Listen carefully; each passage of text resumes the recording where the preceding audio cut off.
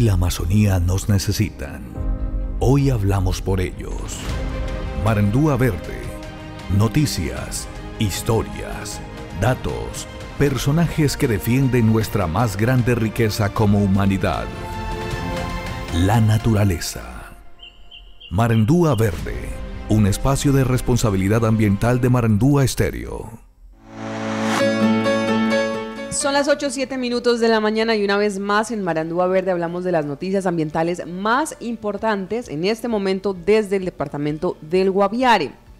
Una de las noticias tiene que ver con eh, el anuncio que se hizo ayer eh, por parte de la ministra de Ambiente y Desarrollo Sostenible, Susana Muhammad, sobre esa participación que va a tener Colombia en el próximo eh, COP 27, la próxima convención de, de, marco de Naciones Unidas sobre el cambio climático que va a iniciar el próximo 6 de noviembre y va, se va a extender hasta el 18 en Egipto. Allá Van a participar más de 190 países donde estarán hablando de esos compromisos pendientes y los que vienen para poder frenar el cambio climático. Pues la jefe de la cartera ambiental enfatizó que el mundo debe invertir colectivamente en aquellos puntos críticos del planeta porque desregularizarían más el clima mundial y uno de esos puntos estratégicos que hoy la ciencia señala es precisamente la Amazonía. Dijo, si llegamos a un punto de no retorno en la Amazonía, la crisis climática va a tener un efecto global. Por eso, pues el llamado al financiamiento climático dice dice que es justamente lo que va a estar haciendo allá en la COP27 y es generar un sustancial aporte internacional que sume más de 400 millones anuales, 400 millones de dólares anuales con base en, que Colombia pues ya digamos va a poner el impuesto al carbono que es un impuesto permanente como parte del proceso de restauración de los ecosistemas y que el mundo en general pues debe invertir más recursos para salvar esos puntos críticos del planeta. Escuchemos lo que dijo la ministra refiriéndose a esa participación de la COP27. El llamado que haremos a la COP27 de generar una sustancial aporte internacional eh, que debe sumar aproximadamente 400 millones de dólares anuales con base en que ya Colombia pone el impuesto al carbono, que es un impuesto permanente, como case del proceso de restauración de los ecosistemas. Lo que llevaremos como posición a la COP27 es que el mundo debe invertir colectivamente en aquellos puntos críticos del planeta que no pueden tener un punto de no retorno porque desregularizarían aún más el clima mundial. Y uno de esos puntos estratégicos que reconoce hoy la ciencia es precisamente la Amazonía. Si llegamos al punto de no retorno de la Amazonía, la crisis climática tendrá un efecto global. Haremos un llamado en la COP que no solamente se trata de hablar de cómo se va a financiar el clima, sino se trata de cómo cooperamos internacionalmente para que esos puntos de acupuntura de regulación climática se salven y podamos que esa inversión, que es una inversión localizada porque es una geografía, pero que tiene un beneficio global, sea prioritaria. Por eso también eh, llamaremos a todos los ministros de Ambiente y los mandatarios de los países amazónicos a hacer un encuentro en el marco de la COP para formar este bloque amazónico que tiene una repercusión global, no es solamente la cooperación entre nosotros, sino que debemos unirnos como bloque amazónico para realmente un trabajo del mundo hacia salvar ese gran bioma que es estratégico para la regulación eh, climática. También habló la ministra de un tema clave y es eh, el acuerdo, digamos, que llegaron con el Ministerio de Hacienda para crear o para incluir el Fondo para la Amazonía y otros ecosistemas estratégicos del país eh, en la reforma tributaria. Según lo que dijo la ministra, esto ya se discutió con el presidente Petro, ya se discutió con el Ministerio de Hacienda y va a quedar entonces incluido dentro de la reforma tributaria. Lo que quedó entonces es que el 100% del impuesto al carbono va a ser destinado para ese fondo de la Amazonía y otros ecosistemas estratégicos. Escuchemos lo que dijo sobre eso.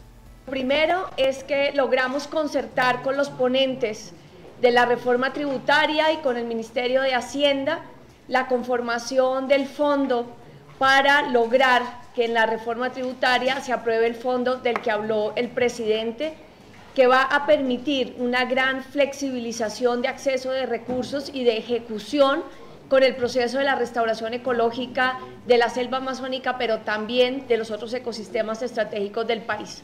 Hoy el sector ambiental no tiene un instrumento que le permita ser eficaz en esa implementación. Este fondo va a permitir varias cosas. Uno, que tenga ingresos de recursos de cooperación internacional del sector privado y del sector público. Dos, que sea acumulable lo que se va generando en el fondo en el tiempo Tres, que no esté atado a vigencias eh, anuales, lo que ayuda a que podamos ser consistentes en lo que es la restauración de los ecosistemas, porque un ecosistema tiene que invertirse y mantenerse en el tiempo para que podamos ver los resultados ambientales. Y además eh, permite una ejecución mucho más ágil en términos de cómo podemos dispersar los recursos con las comunidades en este pacto social que estamos trabajando. Que el 100% del impuesto al carbono sea precisamente destinado a la restauración de los ecosistemas estratégicos y salvar eh, la selva amazónica, el chocobio geográfico, los páramos, como decimos, una estrategia del páramo al mar.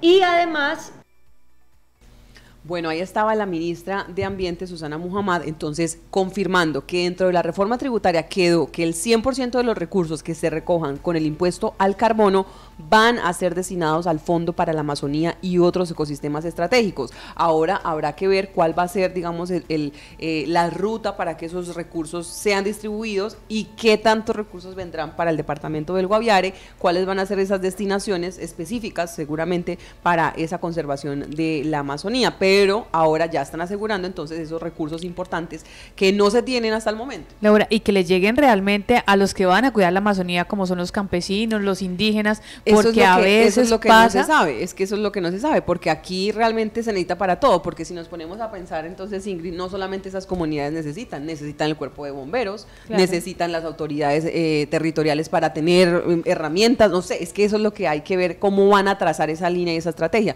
pero sí, definitivamente es clave que esas comunidades que están allá y que serán las encargadas también, pues tengan ese lugar allí como cuidadores de, de la Amazonía. Muy bien, 8.14 y la invitación para hoy, ojo, hablando de todos los que les gusta Marandúa Verde, nuestra Amazonía, nuestra naturaleza, hoy es una oportunidad muy importante para que ustedes participen, tomen la palabra, tengan la oportunidad de expresar esas inquietudes, esas opiniones, esas propuestas. Y por eso los invitamos a que escuchen el siguiente mensaje.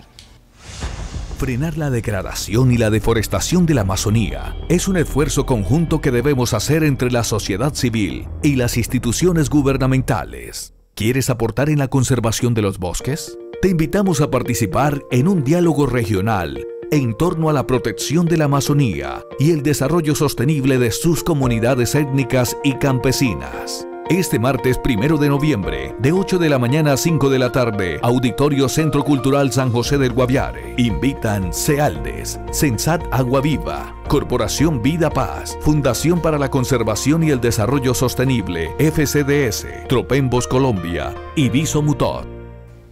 Ahí está la invitación para hoy a partir de las 8 de la mañana, es decir, ya, si nos está escuchando, ya está tarde, no mentiras. Hoy tienen toda la oportunidad, pero la idea es que lleguen temprano porque van a estar en el Centro Cultural todas estas organizaciones, pero también líderes de la sociedad civil, es decir, todos los que eh, hemos escuchado que les preocupa el tema de la minería, que les preocupa el tema de las fuentes hídricas, que les preocupa el tema de la deforestación, que les preocupa todo el tema de la conservación de los bosques y demás. Bueno, es la oportunidad de que ustedes participen en este diálogo regional ambiental, porque desde allí uno pues van a, digamos, a, tomarse esos insumos y decir cómo estamos, cómo, cómo estamos en materia ambiental, en iniciativas y, y este tema frente a la deforestación, pero también de allí van a salir los insumos para preparar, digamos, esas propuestas ambientales, especialmente de cara a la Amazonía y de toda esa problemática que tenemos, en el próximo diálogo regional vinculante con el gobierno nacional que va a ser el 19 de noviembre. Entonces la invitación, ya saben, hoy Centro Cultural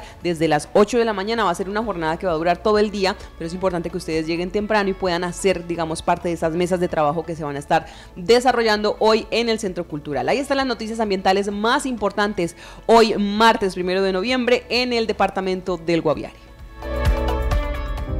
El bosque y la Amazonía nos necesitan. Hoy hablamos por ellos. Marandúa Verde, Noticias, historias, datos, personajes que defienden nuestra más grande riqueza como humanidad. La naturaleza. Marendúa Verde, un espacio de responsabilidad ambiental de Marendúa Estéreo.